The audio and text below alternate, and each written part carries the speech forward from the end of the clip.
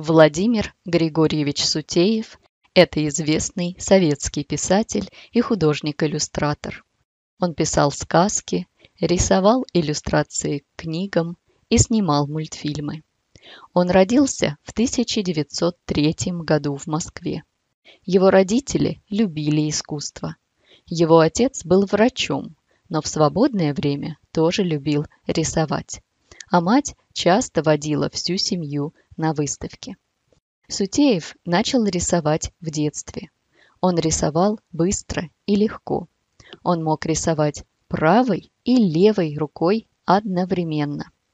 Но после школы он поступил на инженерный факультет, хотя рисовать ему нравилось больше. Поэтому потом он стал изучать кинематографию. Ему очень нравилось делать мультфильмы. Еще Сутеев любил писать сказки и рисовать к ним иллюстрации. Эти иллюстрации были очень красивые, а сказки простые и веселые, как будто это мультфильм в книжке.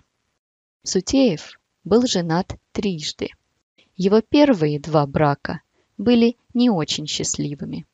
А потом он снова влюбился. Ее звали Татьяна, и она была замужем.